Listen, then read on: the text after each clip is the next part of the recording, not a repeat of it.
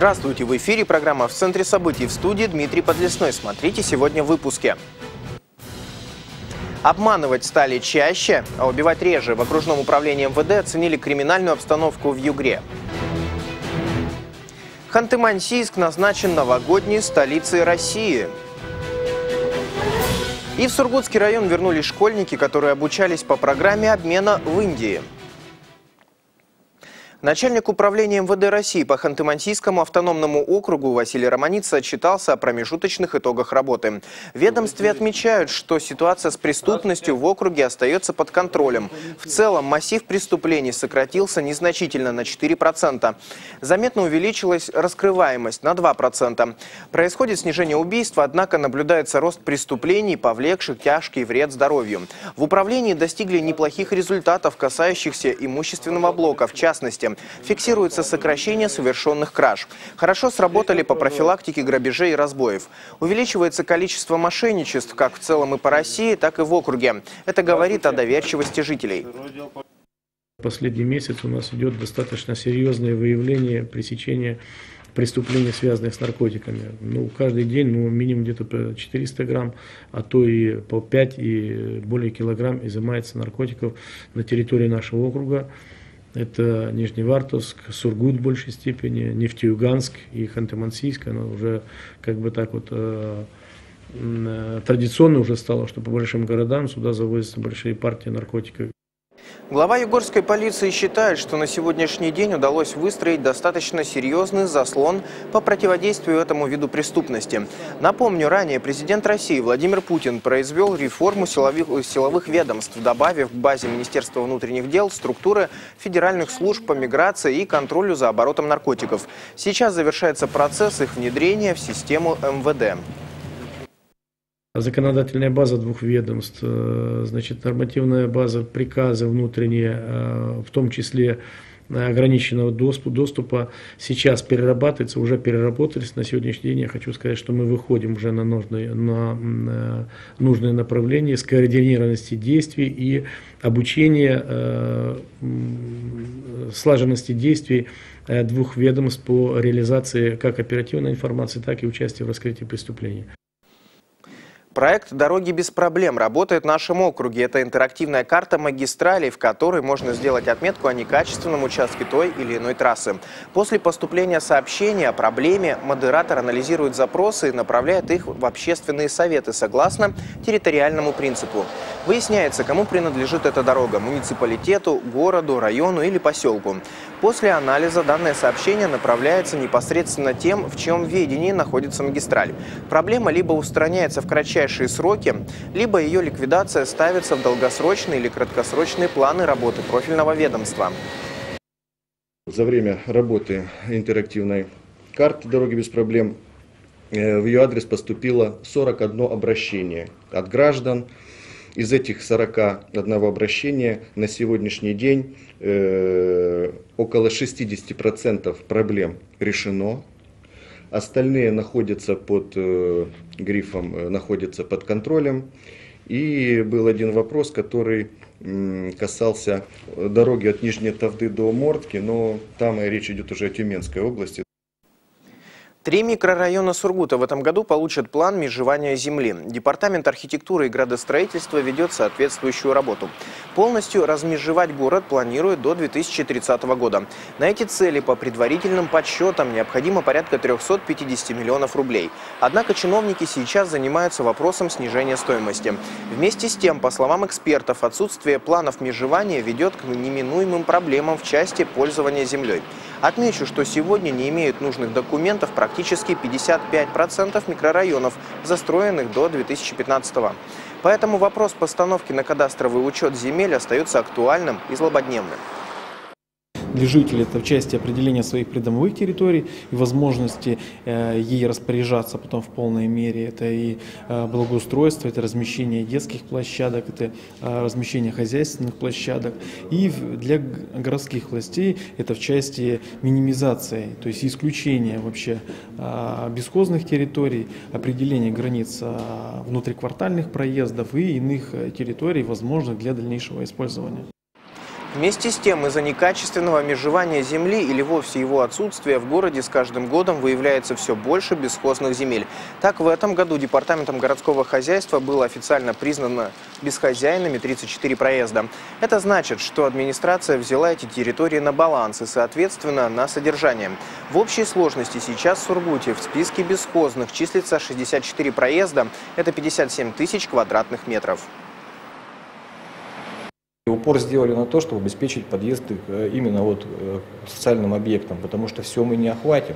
Мы так можем и 120 тысяч набрать. Если мы будем каждый кусочек вот этот вот брать на содержание. Во-первых, мы денег потом где э, наскребем на все это, на содержание. Во-вторых, ну, извините, я считаю, что чистить подъезды к жилым домам, которые необходимы только для этого жилого дома, но я считаю, что это не совсем правильно.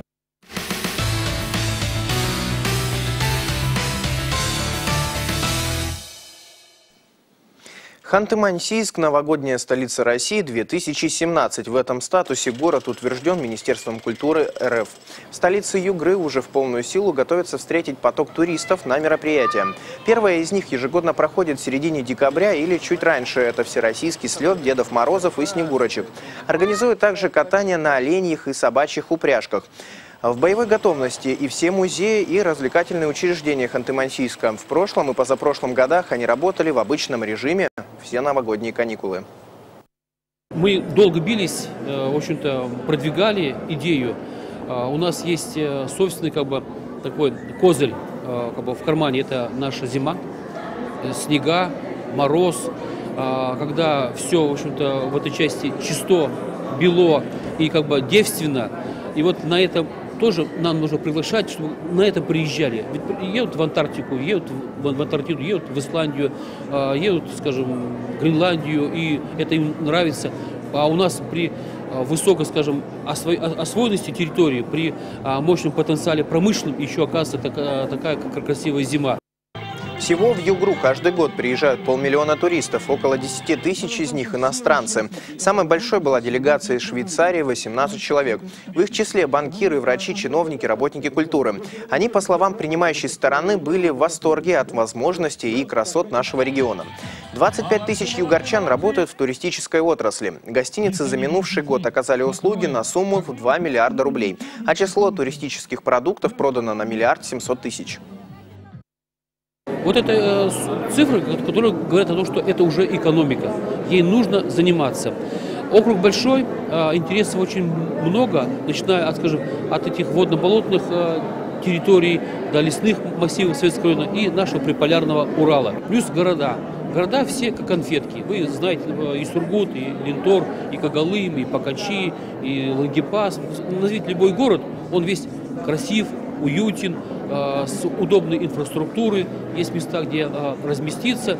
И рядом островками существуют, э, скажем, элементы туристической отрасли. Это наши базы, это стойбища, объекты показа промышленные, но их, к сожалению, маловато.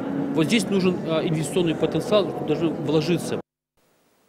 Ну а меньше чем через две недели в России напишут географический диктант. Он пройдет 20 ноября во всех регионах страны. В этом году в Югре региональной площадкой проведения мероприятия выбран Нижневартовский госуниверситет. В масштабной образовательной акции сможет принять участие любой желающий, независимо от возраста и образования. Диктант проводится с целью оценки уровня географической грамотности населения. Добавлю, что любой югорчанин может проверить свои знания дистанционно. Для этого 20 ноября необходимо зайти на сайт диктант.рго.ру и ответить на 30 предложенных вопросов. Ученики первой школы поселка Солнечный в рамках фонда интеркультуры России вернулись из Индии. Жили и обучались школьники в индийском городе Индар в местных семьях. Ребята изучали индийский язык хинди, традиционные танцы, а также познакомились с культурой этой страны. Рецепту хлеба чапати, узором меди и движением танца катхак теперь смогут обучить своих одноклассников ученики школы в поселке Солнечный. Восемь ребят на днях вернулись из Индии. Они приняли участие в программе по обмену. Одним из первых в округе средняя школа приняла участие в международной организации IFS – обмен класс на класс. В прошлом году, в ноябре, ребята из Индии побывали в Сургуте. В этом школьники с 6 по 11 класс этого учреждения смогли отправиться с ответным визитом. Они посещали э, занятия там, для них индивидуальная э, программа была разработана. Но конкретно дети э, ехали, чтобы, в общем-то, отработать английский язык, владение языком. Поездка в Индию являлась культурно-образовательной. Две недели ребята знакомились с традициями, обычаями народов этой страны. Обучались танцам, рукоделию, изучали родной язык индийцев хинди. Каждый школьник проживал в отдельной семье, которые старались создать наиболее комфортные условия для проживания. У меня была большая семья. Э, проживали дедушка, бабушка, мама, папа, э, девочка, вот, которая меня взяла, и младший сын. Они мне всегда говорили, вот иди кушай, тебе нужно кушать. Э, я говорю, зачем вы меня так кормите? Они говорят, мы относимся вот к тебе как, как к Богу, потому что э, как бы ты наш гость, и с другой стороны тем более более пяти лет в Сургутском районе работает международная программа обмена. За это время в округе провели каникулы и прошли обучение около 200 детей, более чем из 20 стран, таких как Германия, Италия, Венгрия и Франция. Один из них – Андриан Рамирес. Он приехал из Америки. В Сургутском районе он обучается в химико-биологическом классе. В чисто девичьем коллективе молодой человек занимается с начала учебного года и до июня. Андриан признается, что русский язык сложный в произношении, и пока удалось изучить только базовые ключевые слова. Когда я жил в Америке, я чувствовал, что хочу открыть для себя мир. Я самостоятельно принял решение приехать в Россию и изучать русский язык. В скором времени вместе с Андрианом школа пополнится еще иностранными учениками. Этой весной СОШ номер один снова примет новую делегацию индийских школьников. Виктория Дрягина, Сергей Коликов, Сургут Интерновости.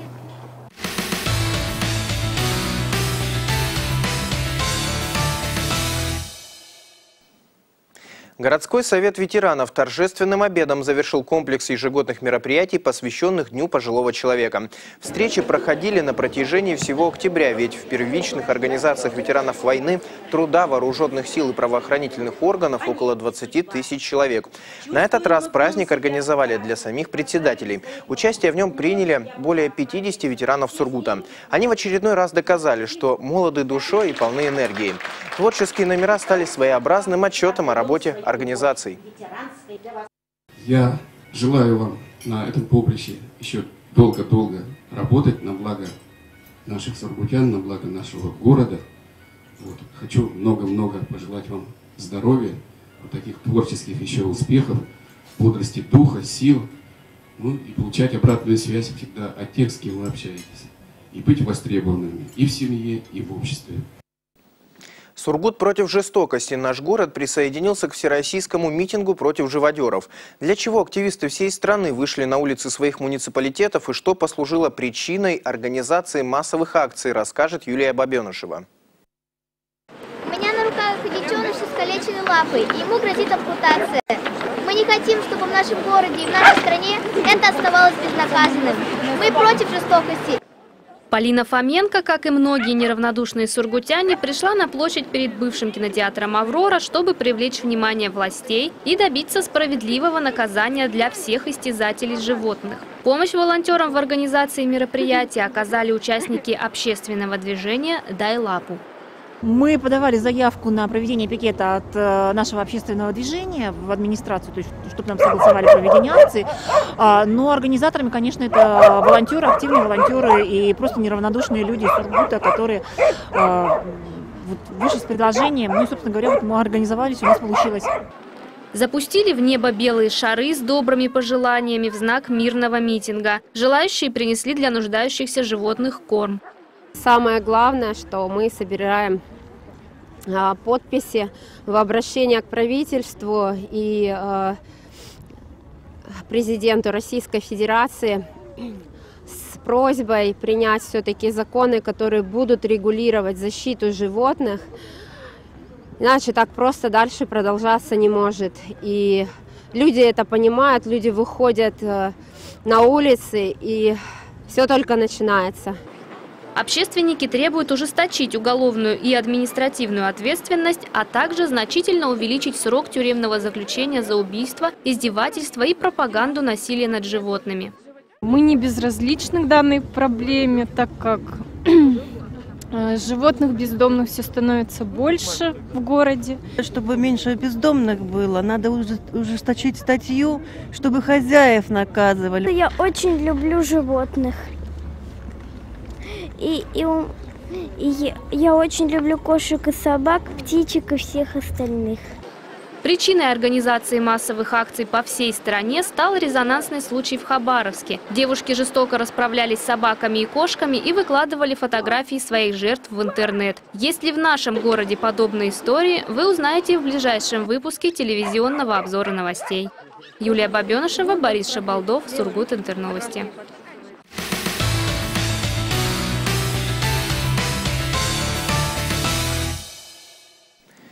Настоящий подарок для любителей волейбола. В декабре в нашем городе состоится финал Кубка России. Сургут имеет огромный опыт в проведении волейбольных соревнований самого высокого уровня. Такова оценка Всероссийской Федерации этого вида спорта. Чуть больше, чем через месяц наш город примет финал шести Кубка России. Он пройдет с 12 по 17 декабря. Известен полный состав участников. Помимо сургутян, это Казанский «Зенит», Московская «Динамо», Белогорье, Новоренгойский «Факел» и Новосибирский «Локомотив», который получил специальное приглашение. Опыт есть, я думаю, ничего не мешает. Чтобы болельщики заполнили этот зал полностью, то здесь, чтобы 3000 человек полностью приходило на эти игры. Я понимаю прекрасно, что есть тяжелые, скажем так, составляющие, во-первых, рабочие дни будет большинство, плюс все-таки не совсем удобная здесь э, подъезд, стоянка. Но я думаю, зрители придут болеть любую за команду. В Сургуте стартовала первая любительская баскетбольная лига города. Создана она группой энтузиастов и любителей этого вида спорта. Цель – популяризация этой игры с мячом, пропаганда здорового образа жизни, повышение уровня мастерства спортсменов. В двух дивизионах в течение почти полугода больше десятка команд будут разыгрывать титул сильнейшего любительского коллектива. Победители и призеры получат кубки, медали и денежные призы от организаторов и управления по делам физической культуры и спорта. Необходимость этого чемпионата, я считаю, она очень нужна, потому как а, выступаем мы на области, на округе, сборную команду любительскую надо где-то наигрывать. Если раньше наш турнир, городской чемпионат шел полтора-два месяца. Самое главное, что сейчас вырос уровень команд, которые принимают участие. Их очень много, очень интересно. Я надеюсь, будет еще интереснее турнир заявились 16 команд, 5 из них не из Сургута. Представлены спортсмены поселка Федоровский, а также Нефтеюганска, Мегиона, Нижневартовска и Ханты-Мансийска. Игровую практику в этом турнире получают и юные баскетболисты, учащиеся спортшколы Югория, студенты сургутских вузов, а также представители предприятий. Обкатывают состав участники детско-юношеской баскетбольной лиги России и сборная Ассоциации любительского баскетбола. В ее планах выйти на межрегиональный уровень. Мы планируем туда сделать команду ЛБ, Ассоциацию любителей баскетбола, вот, и выходить, собрать лучших игроков, скажем так, нашего города в эту команду, объединить ее, начать тренироваться совместно, чтобы наш город имел свою команду. А на этом выпуск завершен. Впереди вас ждет еще блок коммерческой информации и прогноз погоды. Больше новостей на сайте телерадиокомпании «Сургут Интерновости» по адресу indefisnews.ru. Я с вами прощаюсь. Берегите себя.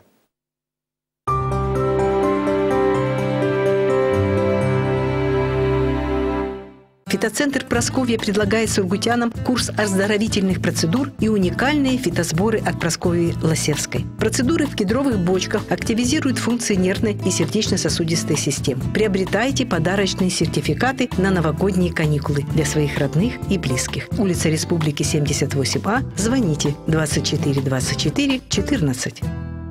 Кировская меховая фабрика предлагает новую коллекцию норковых шуб по летним ценам. С 7 по 13 ноября на втором этаже ТРЦ «Союз».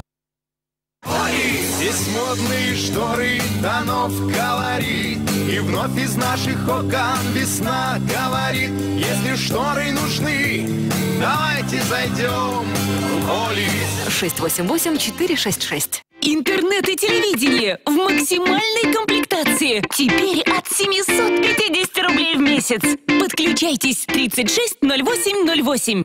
Женская, изящная и утонченная. Мужская, брутальная и стильная. Детская, яркая и практичная. Обувь в салонах Жета. Неизменно комфортная и теплая. Одно- и двухкомнатные квартиры в современном московском жилом комплексе «Альтаир». Экономия на ЖКУ до 30%, трехуровневый паркинг, детская игровая площадка, автономное горячее водоснабжение. Жилой комплекс «Альтаир» – это выбор современного человека. Телефон отдела продаж в Сургуте 600 190. Привлекательный ассортимент в магазине «Аметист» для дам. Шикарные украшения с драгоценными камнями. Для мужчин аксессуары, брелоки, печатки, зажимы для галстуков, часы, крупные цепи, браслеты. Большой выбор обручальных колец из белого, красного и комбинированного золота. Для детей цепочки, серьги, кольца, подвески. Соленик Элизионе приглашает за покупками. Большое сезонное поступление. Шубы, дубленки, пуховики. Скидки от 30 до 60 процентов. Беспроцентная рассрочка. Соленик Элизионе осень и зима будут теплыми. Соленик Элизионе. То, что действительно модно.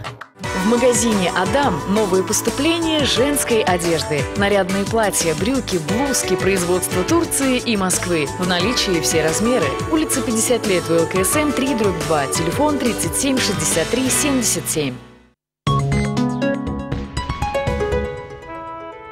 И о погоде на 10 ноября. Здравствуйте, в студии Алла Шипулина. Генеральный партнер прогноза погоды компания «Еламед». Я люблю принимать гостей, но приятные хлопоты может омрачить боль в суставах. Хорошо, что близкие подарили мне Алмак 01. Теперь он бережет мое здоровье. В ноябре успейте купить Алмак 01 до подорожания. В аптеках «Фармадом», «Бережная аптека» и «Аптека от склада». Алмак – высокоэффективное лечение хронических и острых заболеваний в домашних условиях, создан для здоровья людей. Четверг погоду в Западной Сибири будет определять мощный североатлантический циклон, сопровождаемый плотными массивами облачности, облажными снегопадами, усилением ветра, метелью и смягчением холода. Ночью в Сургуте и окрестностях облачно с прояснениями, преимущественно без осадков. Направление ветра юго-западное 4,9 метров в секунду. Температура воздуха минус 21, минус 26. Утром облачно пойдет снег, на столбиках термометров около 21 градуса мороза. Днем по-прежнему облачно, временами снег, метель. Ветер юго-западный 7-12 метров в секунду, порывистый. Температура 12-17, ниже нуля, а к вечеру потеплеет. Возвращение легенды. Мы просто продаем качественную обувь по доступным ценам. Сеть салонов «Саламандр». Поступление новой коллекции из Финляндии в салонах обуви «Саламандр». В течение дня солнечная активность умеренная, геомагнитное поле неустойчивое. Атмосферное давление будет падать и составит 749 миллиметров ртутного столба. 25-25. Это радость опять. Скидка в Карапузе 25. Большие скидки для самых маленьких. До 25% на зимнюю коллекцию одежды. Утепляйтесь и радуйтесь. Всегда радостные покупки для детей в магазинах «Карапуз». Достойное качество по выгодным ценам. Я желаю вам всех благ, будьте здоровы, до свидания.